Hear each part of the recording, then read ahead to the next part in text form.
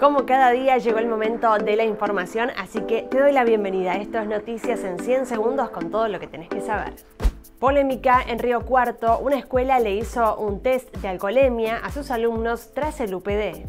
Algunos tenían hasta un gramo por litro de sangre. Los análisis los hizo la municipalidad tras un pedido de la institución educativa. De 59 alumnos, 12 tenían alto nivel de alcohol en sangre. La máxima autoridad del colegio pidió tratar la problemática del alcohol en los jóvenes como un tema de agenda en todas las instituciones educativas, a la vez que afirmó que hay mucho desprecio por el cuerpo y la vida del otro.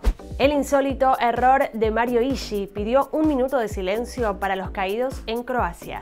Intendente de José Cepaz intentó hacer un homenaje a las víctimas de la invasión rusa en Ucrania, pero se equivocó de país. El insólito error tuvo una rápida repercusión en las redes sociales.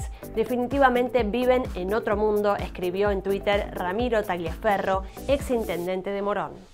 Antes de empezar a hablar, quisiera eh, pedirles un minuto de silencio por en busca de la paz y por los caídos en este momento Croacia y la guerra que se está sucediendo hoy con Rusia.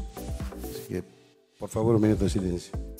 Y llegamos, algunos un poco más cansados, otros con más energía, de a poco al final de esta semana. Para este viernes se espera una máxima de 28 grados y la posibilidad de tormentas aisladas a partir de la tarde.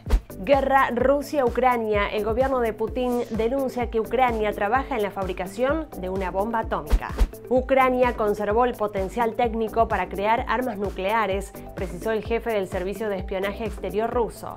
Por otro lado, el gobierno ordenó cerrar la embajada argentina en Kiev y evacúan a todo el personal. Así lo dispuso el canciller Santiago Cafiero, quien dijo que habrá consulados móviles en las fronteras con Ucrania.